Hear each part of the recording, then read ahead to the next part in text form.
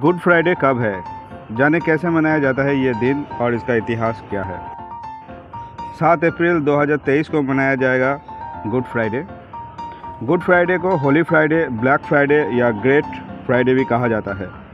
मान्यता है कि इस दिन प्रभु यीशु को बहुत दुख दर्द दे के सूली पर चलाया गया था।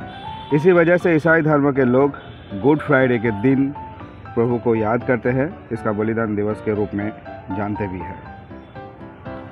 और कैसे मनाया जाता है गुड फ्राइडे? चलिए जानते हैं। ईसाई धर्म के लोग गुड फ्राइडे के दिन प्रभु यीशु को बलिदान के दिन में जानते हैं। इस दिन लोग काले रंग के वस्त्र पहनकर प्रभु यीशु के बलिदान दिवस पर शोक मनाते हैं।